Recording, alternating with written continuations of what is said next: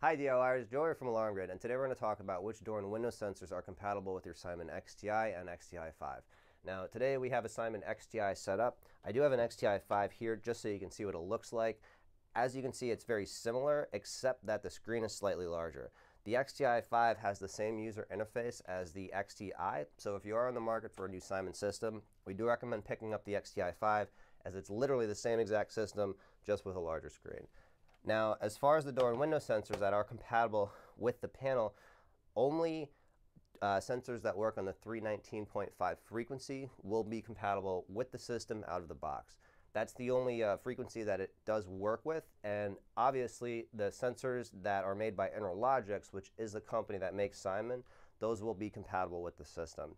A side note is that if you have Qolsys sensors or if you're replacing a Qolsys system with a Simon system, there's a good chance that those sensors are going to be compatible as Qolsys sensors also work on the 319.5 frequency range and you'll be able to program them right into your Simon system.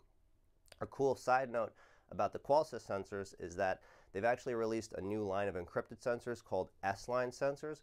Those can even be programmed into your Simon system it's just that they won't use that encryption feature that you would get if they were programmed into a compatible IQ system.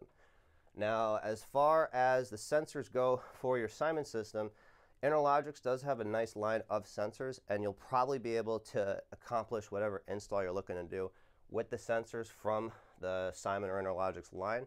But if you do want to use different sensors to do specific things, you may need to add an intermediary device to get them uh, compatible with the Simon system. Just as an example, this right here is an Interlogix door sensor. As you can see, it's got a clean look.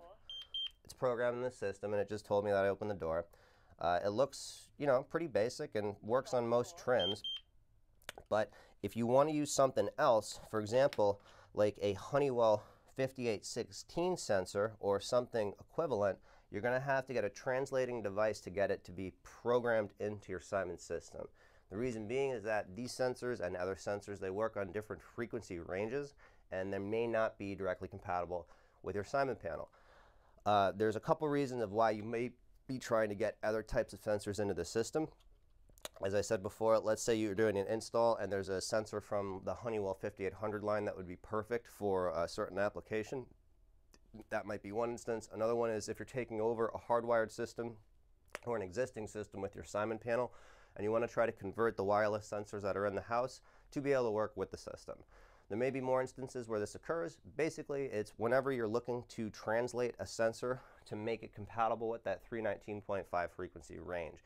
Now, there is a few things that you can do to accomplish this. One is, for example, if you're going to use only Honeywell sensors like the, the 5816 or other ones from the 5800 line, these work on the 345 frequency. That frequency can be converted. We have a device on the website called the IQ Translator 345. It's a standalone device. You install it, and what it's going to do is when this sensor signals, it's going to take that signal, it's going to translate it and convert it into the 319.5 frequency, spit it out, and then the Simon's going to be able to pick it up, and you'll be able to program the sensor into the system. That translating device works great. If you are going to get a translating device, though, we have a more robust one available. It's called the Resolution 524. It's a it does the same thing as the, the Qolsys translator, except that you're able to adjust what company or what frequency it's going to input and what frequency it's going to output. There's two dials inside of the device, and one allows you to select the company for the input frequency, and the other one allows you to select the company for the output. So for example, if you're using Honeywell 5800 sensors, you would set the input to Honeywell, and you'd set the output to Interlogix. That would take the 345 frequency, convert it to the 319, spit it out, and the system will be able to pick it up, and you'll be able to program all those devices into the panel.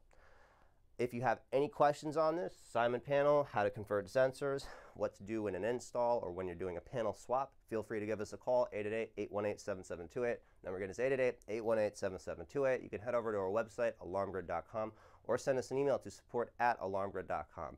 Did enjoy the video, feel free to subscribe, and if you want to be updated when we post future videos, click the notification button below, and we'll do so when we post them. Thanks for watching, and have a great day.